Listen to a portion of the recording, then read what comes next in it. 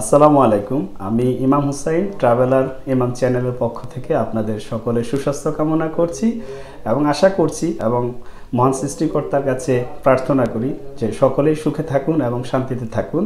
তো আমার আজকের আলোচনার বিষয় হচ্ছে, কীভাবে আপনারা বাংলাদেশ থেকে সিঙ্গাপুরের ভিসার জন্য আবেদন করবেন এবং কি কি ধরনের কাগজপত্র সিঙ্গাপুর ভিসা করতে প্রযোজ্য আমাদের জন্য।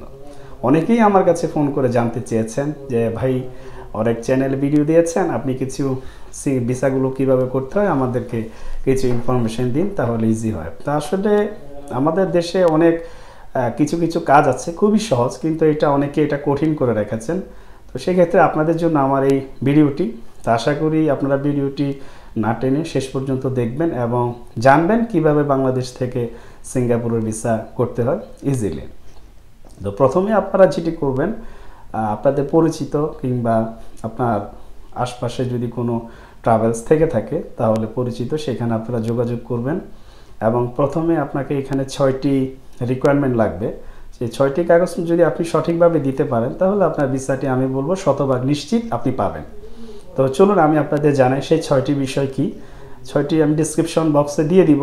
ছয়টি বিষয় কি কি, তারপর আমি মোবাইলে বলে দিচ্ছি, আপনারা নিজেরা দেখুন এবং অন্যকে শেয়ার করুন। ছয়টি বিষয়। প্রথম হচ্ছে যে রিকোয়ারমেন্টটি প্রথমে আপনি যে আপনার পার্সোনাল যে ব্যাংক অ্যাকাউন্টটি আছে, যেটি আপনি মেনটেন করেন, লেনদেন করেন, সেই ব্যাংকের ন্যূনতম ছয় মাসের আপনি স্টেটমেন্ট নেবেন এবং যদি পারেন তাহলে এক বছরে দেওয়ার চেষ্টা করবেন। তো সেইখানে আপনার কারেন্ট ব্যালেন্স আপনাকে এক লাখ টাকার নিচে দেখানো যাবে না। আপনি চেষ্টা করবেন দেড় থেকে দুই লাখ, তিন লাখ যাই পারেন, তবে এক লাখের নিচে দেখানো যাবে না।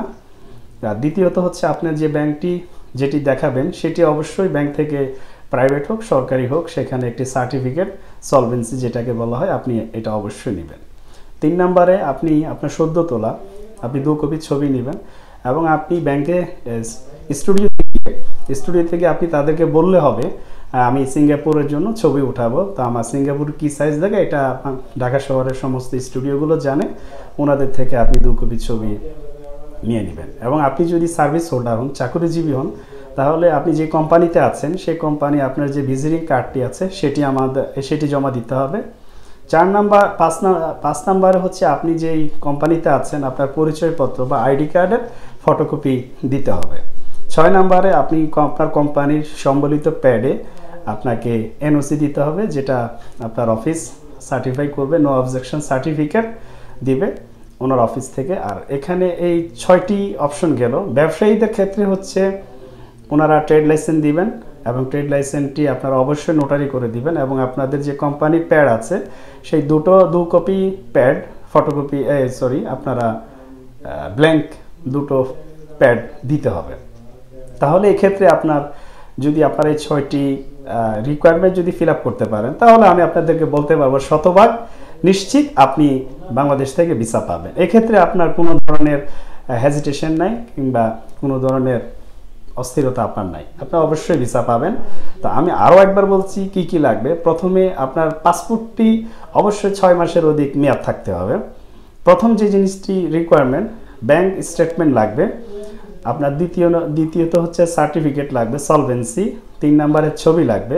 চার নম্বরে আপনার ভিজিটিং কার্ড লাগবে, পাঁচ নম্বরে আপনার পরিচয়পত্র বা আইডি কার্ডের ফটোকপি লাগবে, ছয় নম্বরে আপনার এনওসি যাকে নো অবজেকশন সার্টিফিকেট সেটি আপনার লাগবে। এই ছয়টি জিনিস যদি আপনি দিতে পারেন, তাহলে আপনার ভিসা শতভাগ নিশ্চিত আপনার ভিসা হবে। এতে কোনো ধরনের প্রতিবন্ধকতা নেই। আপনি ভিসা পাবেন, তবে সিঙ্গাপুরে কাউকে ফোন করে না। যা ফোন ভিসা দেওয়ার আগেও অনেক যে অনেকগুলো এম্বাসি ফোন করে তো সিঙ্গাপুর কাউকে ফোন করে না, এমন রেকর্ড বাংলাদেশে খুব রেয়ার এটা আসলে খুব নাই বললেই চলে।